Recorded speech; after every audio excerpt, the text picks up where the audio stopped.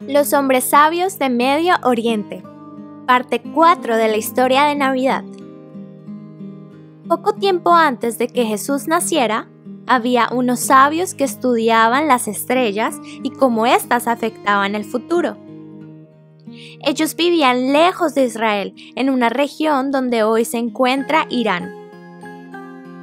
Un día descubrieron una estrella fuera de lo común la buscaron entre sus libros para averiguar su significado. El significado era que un nuevo rey, alguien muy especial, acababa de nacer en Israel.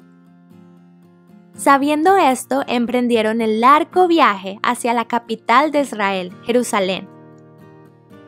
Al llegar, visitaron al que estaba como rey en ese momento, porque asumieron que él acababa de tener un hijo. Pero el rey no había tenido un hijo, así que les preguntaron a unos estudiosos de la Biblia judía si sabían de qué se trataba esto. Ellos encontraron que un rey debía nacer en Belén. Así que el rey envió allí a los visitantes. Cuando estos llegaron a Belén, encontraron el establo ellos entonces se alegraron muchísimo de ver a Jesús, el nuevo rey que acababa de nacer, y le dieron valiosos regalos, oro, incienso y mirra.